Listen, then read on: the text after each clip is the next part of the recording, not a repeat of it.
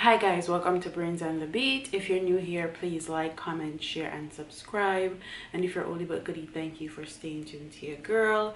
So in today's video we're going to be talking about a frog that have been found in jamaica. And it says local scientists is appealing to jamaicans to report the sights of an invasive species of frogs after receiving photos of the amphibians in two areas on the island's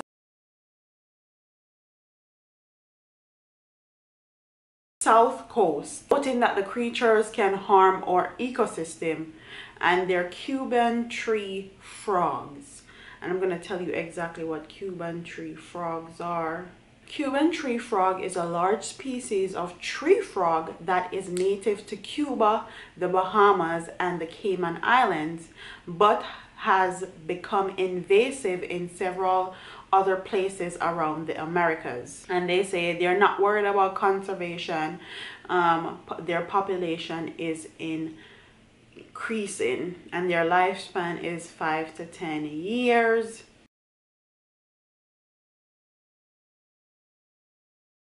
Cuban tree frog is a large tree frog that can grow um, to four to five inches long. They vary in color but are normally beige, white, or brown.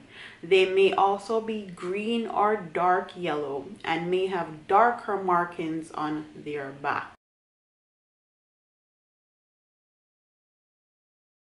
Wide diet and ability to thrive in urban areas had made has made it a highly invasive species with established colonies in places such as Florida, the Hawaiian island of Oahu, the Caribbean islands. These three tree frogs, these three these tree frogs can vary in size and in length Due to their large size, Cuban tree frogs can eat a wide variety of things, particularly native tree frogs and their removal have shown to result in an increase in the amount of native tree frogs in an area.